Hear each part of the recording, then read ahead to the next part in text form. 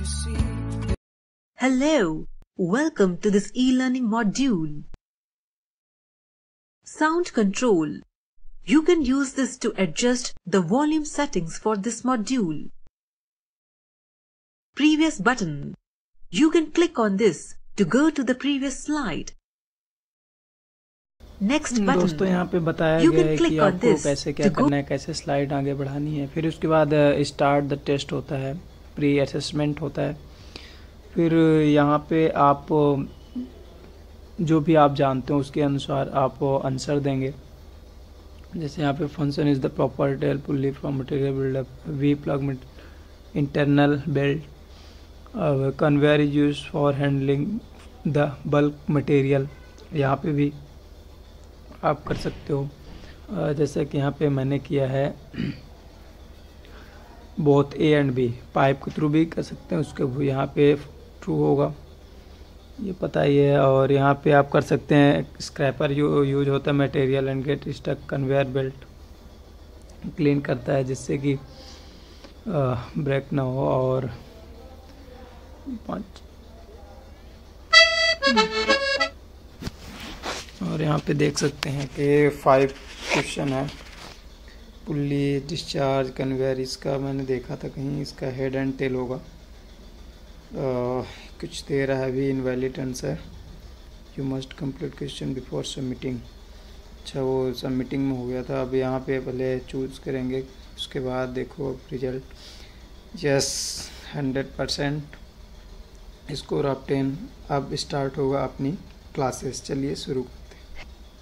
Hello and welcome to this training program on bulk material handling. My name is Aditi and I'm going to be your trainer. Bulk material handling is an engineering field that is centered on transporting material from one or several locations to an ultimate destination.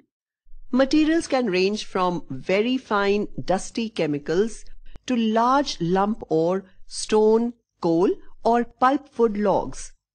Among the various bulk material handling equipments, belt conveyors have attained a dominant position in transporting bulk materials due to inherent advantages such as their economy, safety of operation, reliability, versatility, and practically unlimited range of capacities. In this introductory module, you will learn about conveyor belt systems. The module aims at introducing you to the various aspects of conveyor belt systems to give you a strong base for the upcoming modules.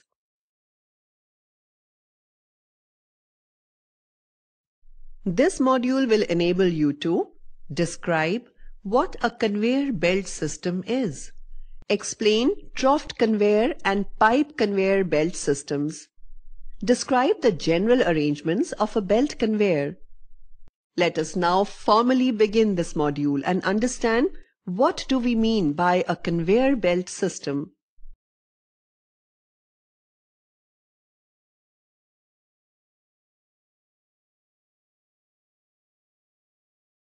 Belt conveyors are widely used for transportation of coal, coke, iron ore, ore fines, sinter, pellet, limestone, flux and additives.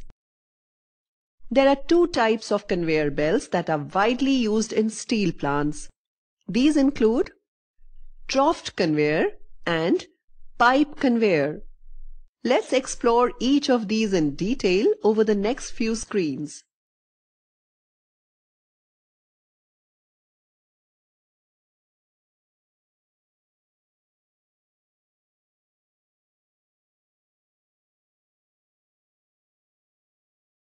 Troughed conveyors are conventional belt conveyor where the belt is troughed of angles 30 degree, 35 degree and 45 degree. This is a representation of troughed conveyor. Click on the play button to start the conveyor belt.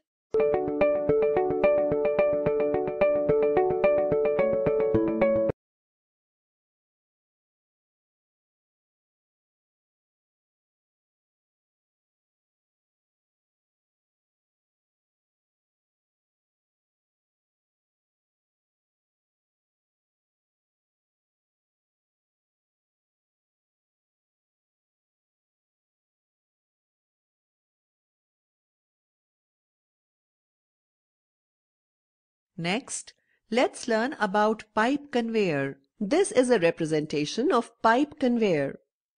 Click on the play button to start the conveyor. Pipe conveyor belts are used where bulk materials have to be conveyed along horizontal and vertical curves in restricted spaces. The belt in this system flattens itself at the loading and discharge stages after it takes a pipe shape during its forward or return runs. Idlers are arranged in the form of hexagonal array. Pipe conveyor is designed to handle materials ecologically that causes severe pollution to the environment and working area.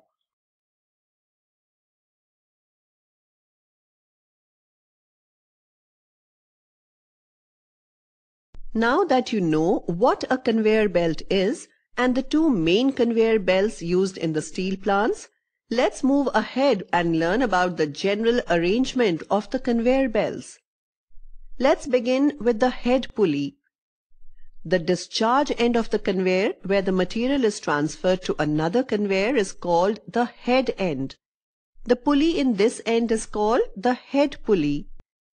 In most of the cases, the drive is attached to the head end of the pulley. Head pulley, therefore, designed to be stronger and bigger than the other pulleys. Head pulley is rubber or ceramic lagged to increase the friction between the belt and the pulley.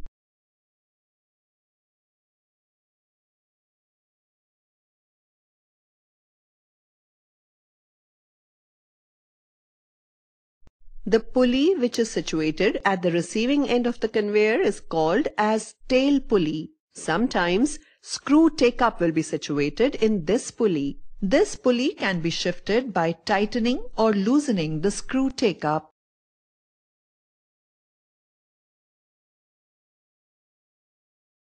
Snub pulleys are incorporated into the design of a conveyor to increase the angle of wrap of the belt on the drive pulley. The greater wrap angle on the pulley allows it to take more power without slip occurring into the belt as it passes around the drive pulley. In this way, we can handle larger loads on the same conveyor.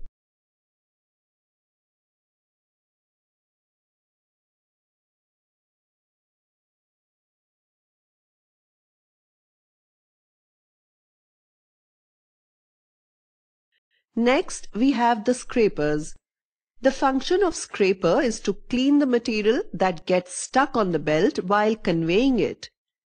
Generally, two scrapers, one primary scraper and another secondary, together do this.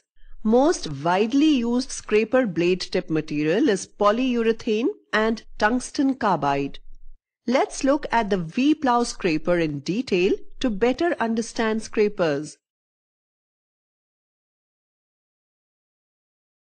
V-plow internal belt scraper is designed for fitment on the upper side of the return belt.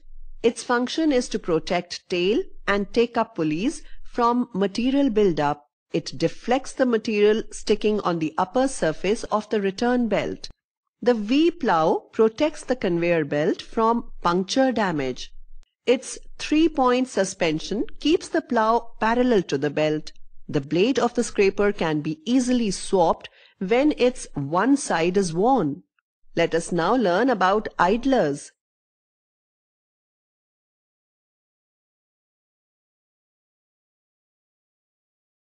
Idlers are needed to give proper support to the conveyor as well as the material on the conveyors.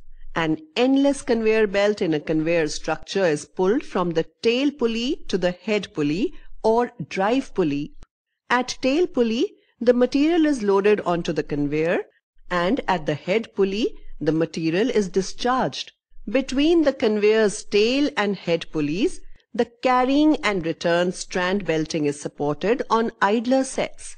The rolls are fitted with anti-friction bearings with seals and with adequate lubrication packed into it. The friction between the roller surface and the belt makes the rollers to rotate and thus material is transferred from one point to another through belt conveyor.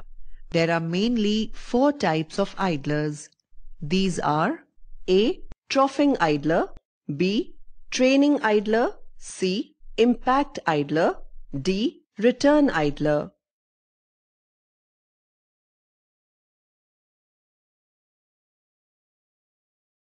A chute is a sloping channel or slide for conveying things to a lower level. Chutes are generally of two types, feed chute and discharge chute. Feed chute is used for feeding the material in the belt. It is situated near the tail pulley. Discharge chute is used for discharge of the material. It is situated near the head pulley. Once the rate of feed is determined and set, Speed and placement of material on the belt are controlled by the loading chute and skirt board. The chute's width must be greater enough to accept material lying off extreme edges of the preceding belt feeder. Because material coming from a preceding belt usually has substantial velocity, there is a choice of positions for the receiving end of the chute. On the screen, you can see the setup of a chute. Click on, click on the highlighted parts to know about them.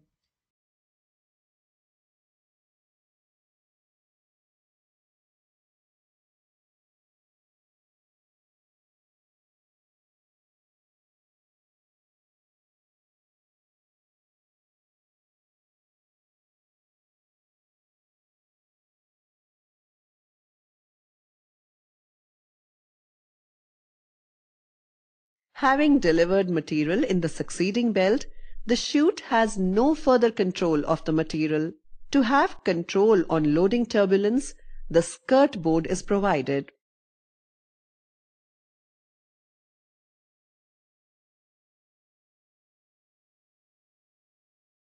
The take-up device is used to create and maintain adequate pre-tension to allow the conveyor drive pulley to drive the belt under all running conditions, whether empty or loaded. There are two main types of take-up. One, screw type. Two, gravity take-up. Let us discuss each of these in detail over the next few screens.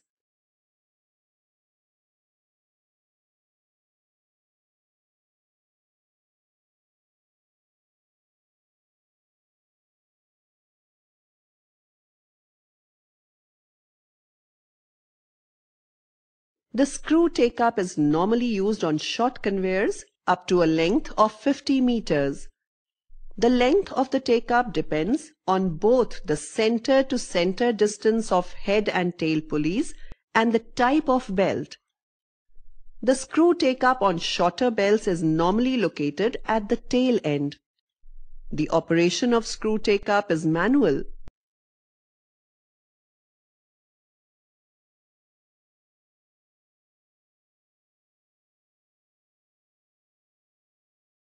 Next is the gravity take-up. Gravity take-up works with a counterweight that hangs freely with a take-up pulley. Bend pulleys direct belt to take-up pulley. Take-up pulley and counterweight both have guided motion in upwards and downwards direction under gravity.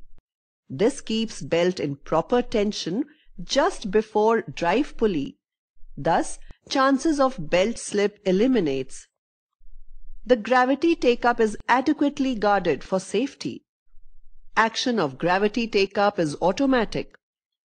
Gravity take-up provides sufficient travel to handle any elastic length changes due to load variation or temperature changes and inelastic changes likely to occur between refastening and replacing.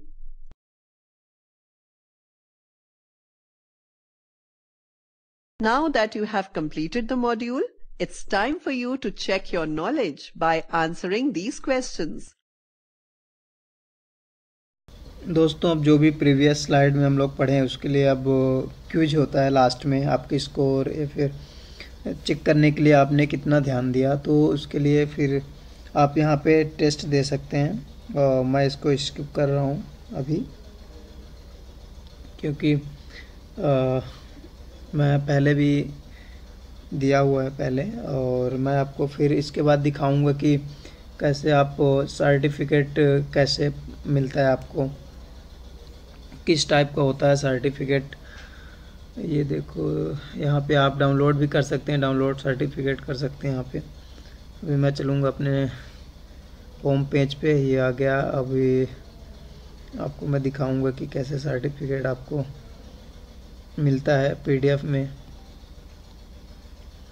और आप जाएँगे, मैंने download कर रखा है अपना certificate.